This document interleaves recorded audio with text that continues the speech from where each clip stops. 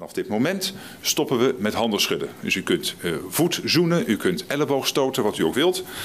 Uh, ik zie op scholen allerlei prachtige varianten op het handenschudden al ontstaan. Uh, maar wij stoppen vanaf vandaag met handen schudden. Oh, sorry, dat mag niet meer. Sorry, sorry. Nee, nee. Oh, oh, over, over, over. Ik wil er nog wel. Zo, ja. Erg, zo'n gewoonte. Ja, dat mag dus niet meer. Ja.